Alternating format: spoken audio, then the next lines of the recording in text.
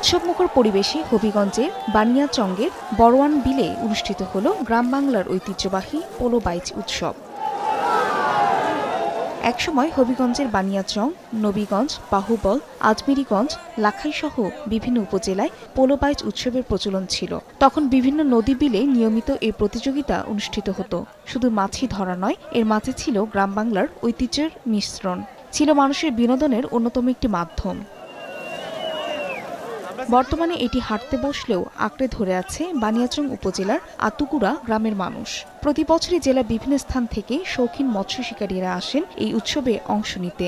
প্রায় তিন ঘণ্টা ব্যাপী চলে মাছ শিকার। বলা যে হাজার হাজার মানুষ আইছে, আমিও আইছি, আওয়ার পরে একটা গুচি মাছ পাইছি খুব আনন্দিত হয়েছি ভালো পাইছে আসছি আইসে একটা বল পাইছি অনেক খুশি হয়েছে তবে এবার বেশি পানির কারণে মাছ অনেকটা কম পেলেও আনন্দের কমতি ছিল না মাছ শিকারীদের মাঝে। এবার পানি বেশি মাছ মাছ বেশি পাইছে না। কম খুব কম। মাছ মারছে এটা বিষ ফেলাইছে দিয়া জাল দিয়ে মারছে পরে মাছ। সবগুলো বিল পোলো বাইচের জন্য উন্মুক্ত করার দাবি আয়োজক কমিটির। এই যাবৎ অনেক বিল লিজ নিয়ে ইজারাদার ফলবাজ বন্ধ করে দিয়েছে। আমি মনে হরমু যে প্রশাসনের দৃষ্টি আকর্ষণ করছি যে প্রত্যেকটা বিলেই যাতে গা- গ্রামীণ অবকাঠামো যাতে থাকে। এবারের বাইচে জেলার বিভিন্ন এলাকা থেকে প্রায় তিন শতাধিক মাছ শিকারী অংশ নেন। সময় সংবাদ, হবিগঞ্জ।